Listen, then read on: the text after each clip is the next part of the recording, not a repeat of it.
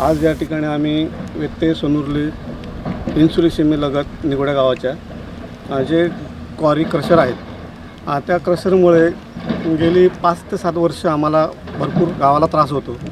या क्रशरमुळे आमच्या गावातील एकशे छप्पन घरांना तडे गेलेल्याचा पंचनामा केलेला आहे आणि त्या पंचनाम्याप्रमाणे वीस लाख पस्तीस हजार आठशे रुपयाची नुकसान भरपाई त्याचं उपकार्यकारी अभियंता यांनी तहसीलदारांना कळवलेलं होतं की ही नुकसान भरपाई देण्याबाबत.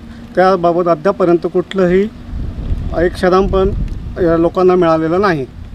आणि त्यामुळे आम्ही बऱ्याच वेळा तहसीलदारांकडे उपोषणं आंदोलनं केली.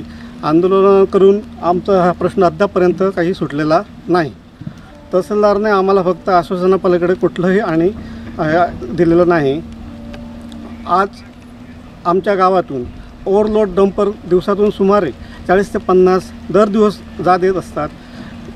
निगोड्या गावातून डंपर वाहतूक करण्याला परवानगी नाही.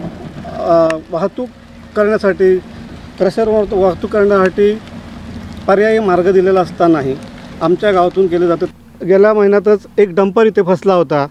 तर हे त्याच्याबद्दलही पंचनामा झाला. डंपरवाला तिथे खडी टाकून पळाला. परंतु त्याच्यावर कुठलीही कारवाई अद्यापर्यंत झालेली नाही. गावातून होणारी डंपर वाहतूक आणि पर्यावरणाचा होणारा रास हे विचारात घेऊन मी माझं ग्रामस्थासमवेत ग्रामपंचायत निगुडे येते पंधरा ऑगस्ट दोन हजार चोवीस रोजी सकाळी अकरा वाजता उपोषणासारखा मार्ग अवलंबला असून तो जोपर्यंत आम्हाला नुकसान भरपाई किंवा येणारे डंपर बंद होत नाही तोपर्यंत ते नुक आम्ही उपोषण मागे घेणार नाही. त्याच्यात ठोस जर कुठलंही आम्हाला हे मिळत नसेल तर ते उपोषण मागे घेतलं जाणार नाही. आमचे दिवसभरातले सर्व अपडेट्स ताज्या घडामोडी आणि थेट लाईव्ह पाहण्यासाठी सबस्क्राईब करा लाईक करा. कोकणचं नंबर वन महा चॅनल कोकण सात लाईव्हचं युट्यूब चॅनल